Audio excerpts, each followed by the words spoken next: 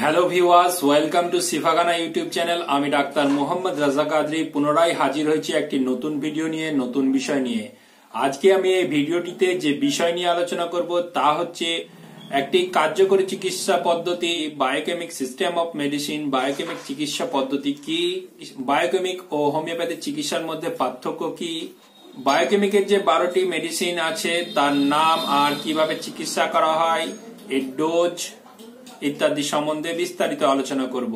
তাই যারা বায়োকেমিক চিকিৎসা পদ্ধতি সম্বন্ধে বা এর ওষুধ সম্বন্ধে জানতে চান, তারা ভিডিওটি প্রথম থেকে শেষ পর্যন্ত দেখুন।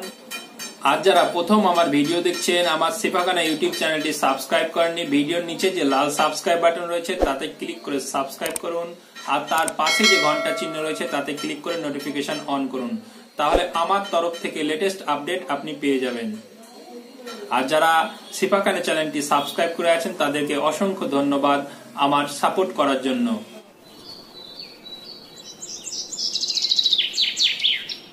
প্রিয় বন্ধুরা, প্রথমেই জেনে নিই, biochemic system of medicine, biochemic চিকিৎসা পদ্ধতি কি সে সম্বন্ধে। বায়োকেমিক চিকিৎসার পদ্ধতির আবিষ্কারক হচ্ছে ডক্টর সুসুলার। ডক্টর সুসুলার বলেন, আমাদের শরীরে ছোট ছোট কোষ বা সেল রয়েছে, তা নিয়ে গঠিত হয় টিস্যু বা কলা। তার মতে আমাদের শরীরে অঙ্গ প্রত্যঙ্গে চার ধরনের টিস্যু রয়েছে epithelium tissue connective tissue muscular tissue আর নার্ভাস টিস্যু।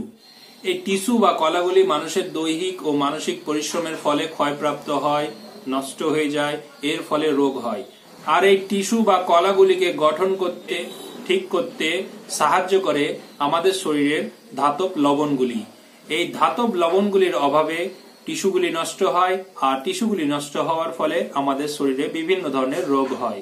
ডক্টর সুসুলারের মতে, এই সমস্ত ধাতব লবণগুলির অভাব যদি মেটানো যায়, তাহলে রোগ দূরীভূত হয়, রোগ নিরাময় হয়। আমাদের শরীরে বারো ধরনের ধাতব লবণ রয়েছে। বায়োকেমিক চিকিৎসা পদ্ধতিতে যেহেতু টিস্যুগুলির ওপর প্রভাব ফেলে, তাই এই বায়োকেমিক ওষুধ বা ধাতব লবণগুলিকে টিস্যু রেমিডিজও বলা হয়ে থাকে। বায়োকেমিক চিকিৎসা পদ্ধতিতে কোনো রোগের ক্ষেত্রে কোন টিস্যুর দুর্বলতা রয়েছে এবং সেই টিস্যুর দুর্বলতা দূর করার জন্য কোন ধাতব লবণের অভাব রয়েছে? সেই অভাবটি যদি পূর্ণ করা হয়, তাহলে সেই রোগটি নিরাময় হয়ে যাবে বা ঠিক হয়ে যাবে। প্রিয় বন্ধুরা এবার জেনে নিই ডাক্তার সুসুলারের বায়োকেমিক চিকিৎসা পদ্ধতি কি বিজ্ঞানসম্মত পদ্ধতি? Biochemic system of medicine biochemic চিকিৎসা পদ্ধতি বিশ্ব স্বাস্থ্য সংস্থা ওয়ার্ল্ড হেলথ অর্গানাইজেশন হু এর অল্টারনেটিভ চিকিৎসা পদ্ধতি বা বিকল্প চিকিৎসা পদ্ধতির অঙ্গ বিশেষ। সত্য কথা বলতে গেলে বায়োকেমিক চিকিৎসা পদ্ধতি, চিকিৎসা জগতে শ্রেষ্ঠ আসন গ্রহণ না করলেও এটি যে বিজ্ঞানসম্মত না, তা নয়। এটি হচ্ছে বিজ্ঞানসম্মত একটি চিকিৎসা পদ্ধতি। বায়োকেমিক চিকিৎসা পদ্ধতি যে বিজ্ঞানসম্মত, তা বহুভাবে বৈজ্ঞানিক পদ্ধতিতে পরীক্ষিত হয়েছে। এই চিকিৎসা বারোটি মেডিসিনের মাধ্যমে হয়ে থাকে। এটা একটি আধুনিক বিজ্ঞানসম্মত চিকিৎসা পদ্ধতি। According to Bunge's text book of physiological and pathological chemistry সমীক্ষায় দেখা যায় অন্যান্য চিকিৎসা পদ্ধতির মতো বায়োকেমিক চিকিৎসা পদ্ধতিও আজ সম্মানিত ও সমাদৃত হয়েছে। তাই বর্তমানে গ্রাম, শহর প্রভৃতি জায়গায় এই চিকিৎসা পদ্ধতির বিস্তার লাভ করছে। উচ্চমানের বায়োকেমিক মেডিকেল কলেজ প্রতিষ্ঠিত হচ্ছে ওয়ার্ল্ড হেলথ অর্গানাইজেশন বিশ্ব স্বাস্থ্য সংস্থায় সমহিত বা গৃহীত হয়েছে। যেহেতু আমাদের শরীরে এই বারোটি ধাতব লবণ রয়েছে, তাই এই বারোটি মেডিসিন প্রয়োগের ফলে কোনো সাইড এফেক্ট হয় না বা এক কথায় বলা যায় বায়োকেমিক চিকিৎসা পদ্ধতিতে কোনো সাইড এফেক্ট বা পার্শ্ব প্রতিক্রিয়া নেই। প্রিয় বন্ধুরা, এবার জেনে নিই বায়োকেমিক চিকিৎসা পদ্ধতি আর হোমিওপ্যাথিক চিকিৎসা পদ্ধতি কি এক না আলাদা? এর উত্তরে বলা যায় বায়োকেমিক চিকিৎসা পদ্ধতি হচ্ছে একটি স্বতন্ত্র চিকিৎসা পদ্ধতি। বায়োকেমিক চিকিৎসা পদ্ধতির সাথে হোমিওপ্যাথিক চিকিৎসা পদ্ধতির কোনো মিল নেই। অনেকে মনে করেন যে ডক্টর সুসুলার হচ্ছে হোমিওপ্যাথি ডাক্তার, এটা সম্পূর্ণ ভুল। ডক্টর সুসুলার নিজে দাবি করেন যে তিনি হোমিওপ্যাথিক নন। তিনি বলেন, বায়োকেমিক চিকিৎসা পদ্ধতি হচ্ছে একটি স্বতন্ত্র চিকিৎসা পদ্ধতি। হোমিওপ্যাথি চিকিৎসার মূল মন্ত্র হচ্ছে সদস্য বিধান। রোগীর লক্ষণ আর ঔষধের লক্ষণ মিল দেখে চিকিৎসা করা। আর বায়োকেমিক চিকিৎসা পদ্ধতি হচ্ছে অভাবের পূরণ। অর্থাৎ আমাদের শরীরে যে সমস্ত ধাতব লবণের অভাবের ফলে রোগ হয়েছে, সেই অভাব পূরণ করাই হচ্ছে বায়োকেমিক চিকিৎসা পদ্ধতির মূল মন্ত্র। অর্থাৎ দুই চিকিৎসা পদ্ধতিরই মূল মন্ত্র ভিন্ন। অর্থাৎ দুই চিকিৎসা পদ্ধতি সম্পূর্ণ আলাদা আলাদা চিকিৎসা পদ্ধতি, হোমিওপ্যাথি চিকিৎসা পদ্ধতি এবং বায়োকেমিক চিকিৎসা পদ্ধতি। এছাড়া ডক্টর হ্যানিম্যানের হোমিওপ্যাথি হচ্ছে মাইজোমবাদ, অ্যালোপ্যাথি হচ্ছে জীবাণুবাদ আর বায়োকেমিক হচ্ছে টিস্যুবাদ। তাই বায়োকেমিক চিকিৎসা পদ্ধতি একটি সম্পূর্ণ ভিন্ন ও স্বতন্ত্র চিকিৎসা পদ্ধতি। বায়োকেমিক চিকিৎসা পদ্ধতিতেও রোগীর সিমটম বা লক্ষণ দেখে চিকিৎসা করা হয়। এই লক্ষণগুলি পাঁচ প্রকারের। এক, বিশেষ লক্ষণ বা ক্যারেক্টারিস্টিক সিমটম দুই, সাধারণ লক্ষণ বা জেনারেল সিমটম তিন সাবজেক্টিভ সিমটম চার অবজেক্টিভ সিমটম আর পাঁচ হচ্ছে ক্লিনিক্যাল সিমটম এই পাঁচ ধরনের লক্ষণ দেখে রোগীর চিকিৎসা করা হয়। বায়োকেমিক চিকিৎসা পদ্ধতিতেও ওষুধ সূক্ষ্ম মাত্রায় প্রয়োগ করা হয়। কারণ আমাদের শরীরে যে সমস্ত ধাতব লবণ রয়েছে, তা সূক্ষ্ম মাত্রায় রয়েছে। আর এই ধাতব লবণগুলির অভাব পূরণ করার জন্য আমাদেরকে সূক্ষ্ম মাত্রায় ওষুধ প্রয়োগ করতে হয়। ডক্টর সুশুলারের মতে, বায়োকেমিক ওষুধ রক্তে মিশ্রিত না হলে ওষুধের কোনো ক্রিয়া হয় না। আর পাকস্থলী হতে রক্তে মিলিত হওয়ার একটি পথ তা হচ্ছে কৈশিক নারী বা ক্যাপিলারি। ক্যাপিলারি বা কৈশিক নারী। আর এই ক্যাপিলারি বা কৈশিক নারী এত সূক্ষ্ম যে তাতে কোনো খাবার বা ওষুধ প্রবেশ করতে পারে না। তাই সূক্ষ্ম মাত্রায় ওষুধগুলি ব্যবহার করতে হয়। প্রিয় বন্ধুরা, এবার যাইনি বায়োকেমিকের এই বারোটি ওষুধের নাম সম্বন্ধে। এই বারোটি ওষুধগুলি হলো এক, ক্যালক্রিয়া ফ্লোরিকা, যেটাকে সংক্ষেপে ক্যালক্রিয়া ফ্লোর বলা হয়।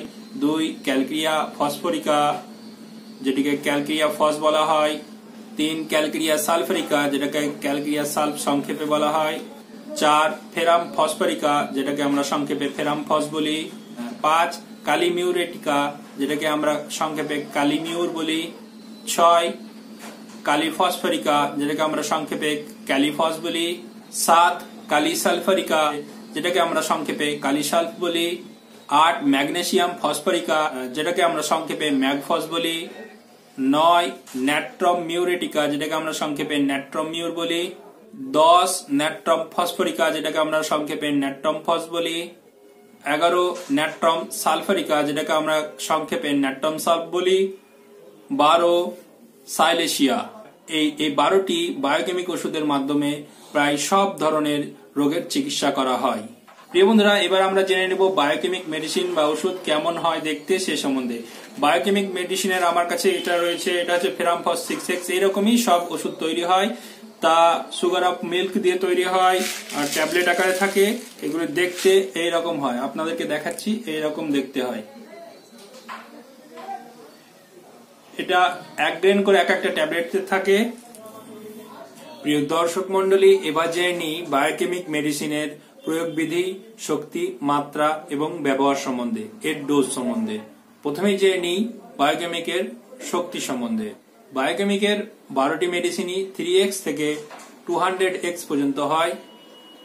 আর এর মধ্যে যে শক্তিগুলো রয়েছে, তা হচ্ছে three X six X twelve X twenty four X thirty X আর টু হান্ড্রেড এক্স বা দুশো এক্স ডক্টর সুশুলা সাধারণত রোগীর চিকিৎসার ক্ষেত্রে সিক্স এক্স বা ছয় এক্স ব্যবহার করতেন।